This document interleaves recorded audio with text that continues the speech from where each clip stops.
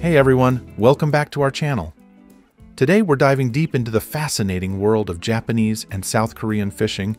Ever wondered how billions of squid and tuna make their way from the ocean to your plate? We're about to unveil the incredible technologies and ancient techniques that power some of the most productive fisheries in the world. From the mesmerizing glow of squid fishing boats to the high-stakes auctions at market, we've got it all covered. So make sure to smash that like button, subscribe if you haven't already, and stick around until the end. You won't want to miss any of the amazing insights we have in store. Let's get started.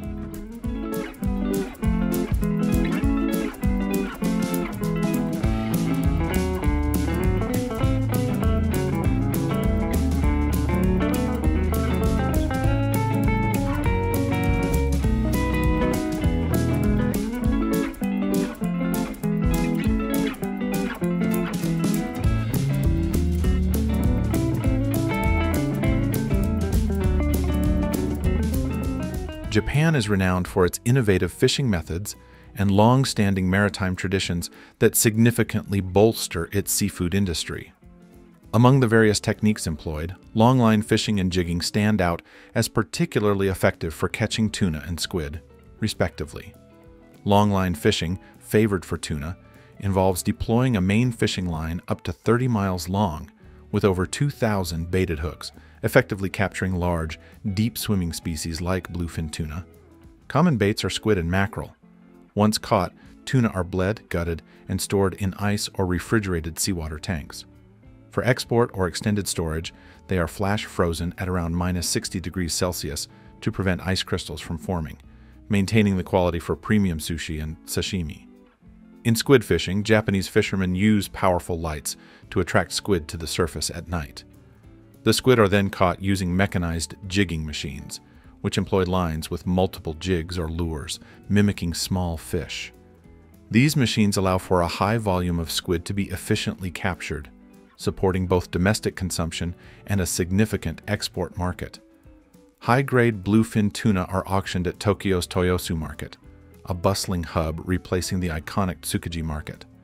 Here, tuna are meticulously inspected and graded based on size, color, fat content, and overall quality.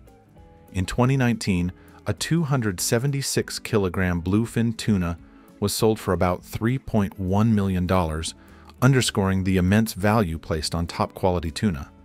Squid undergo a different yet equally meticulous processing journey. In processing plants, squid are cleaned, gutted, and sorted by species, size, and quality. Automated machines ensure efficiency and uniformity, preparing squid in various forms such as rings, strips, or whole for grilling or boiling.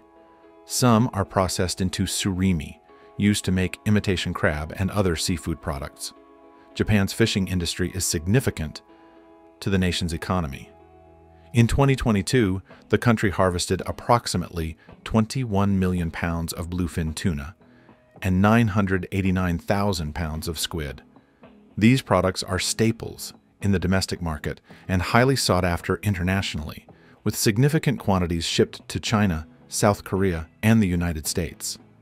Additionally, high-quality marlin, often used for sashimi and sushi, is a valuable export. Maintaining sustainable practices is a challenge for the fishing industry. Techniques like jigging are preferred due to their lower bycatch rates, making them more environmentally friendly. This method selectively targets squid, reducing the capture of non-target species and minimizing ecological impact. Similarly, the use of squid pots and selective harpoon fishing for marlin supports sustainability by focusing on specific species.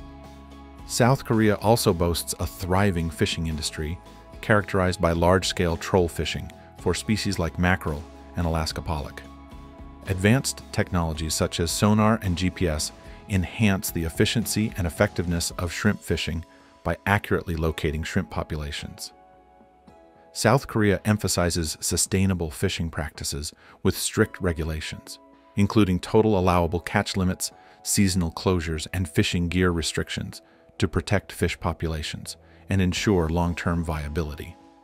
This approach supports the domestic market and makes South Korean seafood products competitive globally, particularly in Japan, the United States, and Europe. Both Japan and South Korea demonstrate how advanced techniques and a commitment to sustainability drive successful and environmentally conscious fishing industries. Their innovative methods and rigorous standards ensure the continued availability of high quality seafood while protecting marine ecosystems for future generations.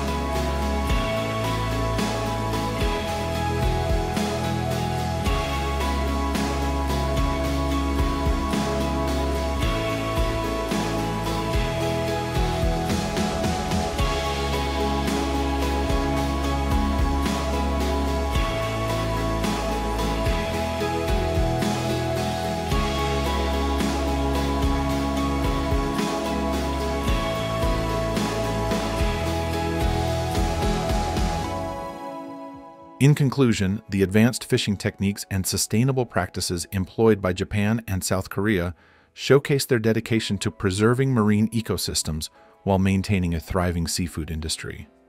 By leveraging innovative methods such as longline fishing, mechanized jigging, and advanced processing technologies, these countries not only ensure the availability of high quality seafood, but also contribute significantly to the global seafood market. Both nations demonstrate how a balance between tradition and innovation can lead to economic success and environmental stewardship. Their commitment to sustainable fishing practices serves as a model for other countries looking to protect marine life while meeting the growing demand for seafood. If you enjoyed this video, please give it a thumbs up and subscribe to our channel for more insights into the fascinating world of fishing and seafood industries. Don't forget to hit the notification bell so you never miss an update. Thank you for watching.